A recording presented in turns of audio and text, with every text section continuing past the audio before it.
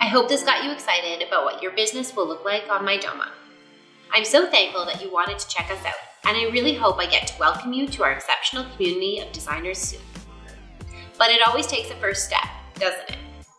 And your first step to becoming a Mydoma designer and bringing your designs to life in an easy, organized, and professional way is to sign up for our 15-day trial. It's a completely free, full access trial, and there's no credit card required. So there's no commitment whatsoever. It's absolutely the best, anxiety-free way to get in there and see what Mydoma is really like. Thanks so much for watching, and I am so excited to see what you will achieve on Mydoma.